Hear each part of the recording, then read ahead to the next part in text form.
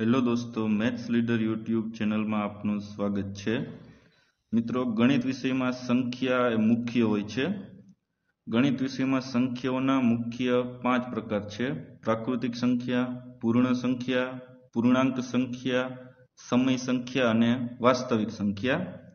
એ પાંચ પ્રકાર સિવાયની ગુણધર્મોના આધારે સંખ્યાઓના પ્રકાર છે. એમાંથી આપણે ચાર પ્રકાર આ વિડીયોમાં જોવાના છીએ. એ ચાર પ્રકાર છે. અવિભાજ્ય સંખ્યા, વિભાજ્ય સંખ્યા, એકી સંખ્યા અને બેકી સંખ્યા. તો ચાલો દોસ્તો, સૌપ્રથમ આપણે જોઈએ અવિભાજ્ય સંખ્યા કોને કહેવાય? જે સંખ્યાને એક અને તે સંખ્યા પોતે એમાં માત્ર બે જ અવયવો હોય, તે સંખ્યાને અવિભાજ્ય સંખ્યા કહેવાય. મિત્રો, વ્યાખ્યામાં એક શબ્દ આવ્યો છે અવયવો. અવયવો કોને કહેવાય? અવયવો કેવી રીતે મેળવવા? એના પર એક વીડિયો બનાવેલો છે. એની લિંક ડિસ્ક્રિપ્શનમાં આપેલી છે. ત્યાંથી તમે અવયવ વિશે સંપૂર્ણ માહિતી જાણી શકશો. આપણે જોઈએ અવિભાજ્ય સંખ્યાઓ. તો જે સંખ્યાને એક અવયવ એક હોય અને બીજો અવયવ સંખ્યા પોતે માત્ર બે જ અવયવ હોય, એવી દરેક સંખ્યાને અવિભાજ્ય સંખ્યા કહેવાય. દાખલા તરીકે જોઈએ આપણે. બે, ત્રણ, પાંચ, સાત, અગિયાર તેર વગેરે અવિભાજ્ય સંખ્યાઓ છે. ઉદાહરણ માટે આપણે એક સંખ્યા લઈએ, બે. બેના અવયવો આપણે લખીએ, તો સૌપ્રથમ આપણે બેને એવી બે સંખ્યાઓના ગુણાકાર સ્વરૂપમાં લખવાના કે જે બે સંખ્યાઓનો ગુણાકાર કરીએ તો આપણને જવાબ બે મળે. તો બેને આપણે બે સંખ્યાઓના ગુણાકાર સ્વરૂપે લખી શકીએ, એક ગુણ્યા બે. આ સિવાય સંખ્યા બેને આપણે બે સંખ્યાઓના ગુણાકાર સ્વરૂપે લખી શકીએ નહીં.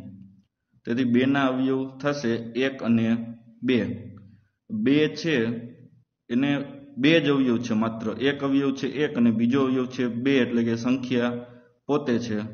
તેથી બે છે એ અવિભાજ્ય સંખ્યા છે. સૌથી નાની અવિભાજ્ય સંખ્યા બે છે.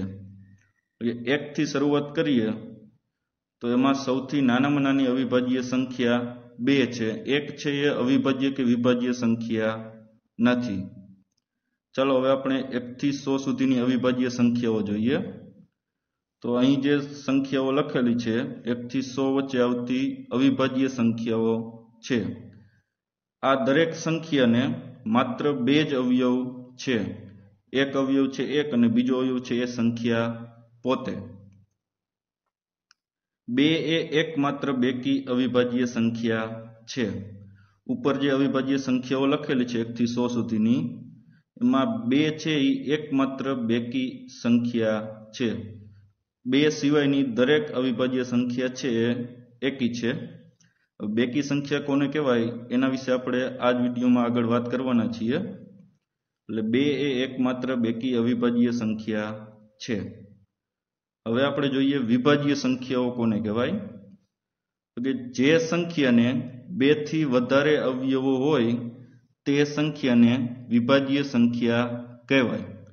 એ બે કરતા વધારે અવયવ જે સંખ્યાને હોય, એ દરેક સંખ્યાને વિભાજ્ય સંખ્યાઓ કહેવાય.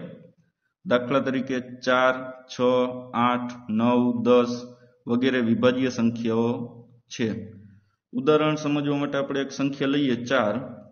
તો સૌપ્રથમ આપણે ચારના અવયવ મેળવીએ. ચારના અવયવ મેળવવા માટે આપણે ચારને એવી બે સંખ્યાના ગુણાકાર સ્વરૂપે લખવાનું કે જેથી બે સંખ્યાનો ગુણાકાર કરીએ તો આપણને જવાબ ચાર મળે. તો સૌપ્રથમ આપણે ચારને લખી શકીએ. ચાર ગુણ્યા એક. અને બીજી એવી સંખ્યા છે કે જેનો ગુણાકાર કરીએ તો આપણને જવાબ ચાર મળે. છે બે ગુણ્યા બે. તેથી ચારના અવયવ થશે એક, બે અને ચાર. અહીં બે છે, એ બે વખત આવે છે. તો અવયવ લખતી વખતે આપણે એને એક જ વખત લખવાનો. તેથી ચારના અવયવ થશે એક, બે અને ચાર. ચારને બે કરતા વધારે અવયવ છે. અહીં ચારના અવયવ આપણે લખેલા છે. ચારને ત્રણ અવયવ છે. એક, બે અને ચાર. ત્રણ છે એ બેથી વધારે થાય. એટલે કે ચાર છે એ વિભાજ્ય સંખ્યા છે. સૌથી નાની વિભાજ્ય સંખ્યા ચાર છે. વિભાજ્ય સંખ્યાઓ લખવાની આપણે શરૂઆત કરીએ તો સૌ પ્રથમ ચારથી શરૂઆત થાય એટલે કે સૌથી નાની વિભાજ્ય સંખ્યા ચાર છે. ત્યાર પછી આપણે જોઈએ એકી સંખ્યાઓ. એકી સંખ્યાઓ કોને કહેવાય? કે જે સંખ્યાને બે વડે નિશેષ ભાગી ન શકાય તે સંખ્યાને એકી સંખ્યા કહેવાય. એટલે કે કોઈ સંખ્યા આપેલી હોય એનો આપણે બે વડે ભાગાકાર કરીએ અને જવાબ આપણને જીરો ન મળે. શેષ જીરો ન મળે તો એ સંખ્યાને એકી સંખ્યા કહેવાય. દાખલા તરીકે ત્રણ, પાંચ, સાત, નવ, અગિયાર, તેર વગેરે એકી સંખ્યાઓ છે. ત્રણ, પાંચ, સાત, નવ આ બધી સંખ્યાઓને આપણે બે વડે ભાગાકાર કરીએ તો આપણને શેષ એક મળે, જીરો મળતી નથી. એટલે કે આવી દરેક સંખ્યાને આપણે બે વડે નિશેષ ભાગી શકતા નથી. તેથી આ દરેક સંખ્યા છે એ એકી સંખ્યાઓ છે. ચાલો હવે આપણે જોઈએ બેકી સંખ્યા કોને કહેવાય? તો જે સંખ્યાને બે વડે નિશેષ ભાગી શકાય, તે સંખ્યાને બેકી સંખ્યા કહેવાય. કે સંખ્યાનો બે વડે ભાગાકાર કરી અને આપણને શેષ જીરો મળે, એવી દરેક સંખ્યાને બેકી સંખ્યાઓ કહેવાય. દાખલા તરીકે જોઈએ, બે, ચાર, છ, આઠ, દસ વગેરે બેકી સંખ્યાઓ છે. બે, ચાર, છ, આઠ દસ ને આપણે બે વડે ભાગાકાર કરીએ તો શેષ આપણને જીરો મળે. તેથી આ દરેક સંખ્યા છે એ બેકી સંખ્યા છે. મિત્રો, ઘણી વખત આપણને અવિભાજ્ય સંખ્યા અને એકી સંખ્યામાં કન્ફ્યુઝન થતું હોય છે. એના માટે આપણે નોંધના બે, ત્રણ મુદ્દા લખેલા છે, એ જોઈ લઈએ. માં સૌ પ્રથમ છે, દરેક એકી સંખ્યા એ અવિભાજ્ય સંખ્યા ન પણ હોય. એટલે કે એકી સંખ્યા હોય એ અવિભાજ્ય સંખ્યા હોય જ એવું જરૂરી નથી.